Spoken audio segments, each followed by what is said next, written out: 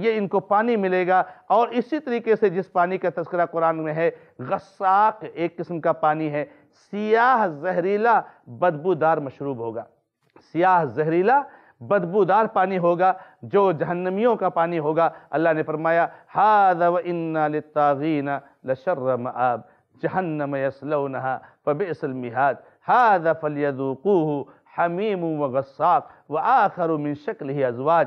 सूर स्वाद आयत नंबर छप्पन, सत्तावन और अट्ठावन में अल्लाह ने फरमाया कि ये सरकशी करने वाले जो लोग हैं, इनके लिए बहुत बुरा ठिकाना है। जहन्नम है जिसमें वो दाखिल होंगे और जहन्नम बहुत बुरी जगह है।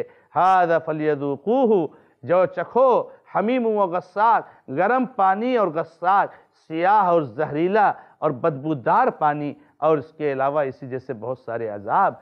तो सरकश लोगों के लिए जहन्नम है और जहन्नम में इस तरह का पानी उन्हें पीने के लिए दिया जाएगा।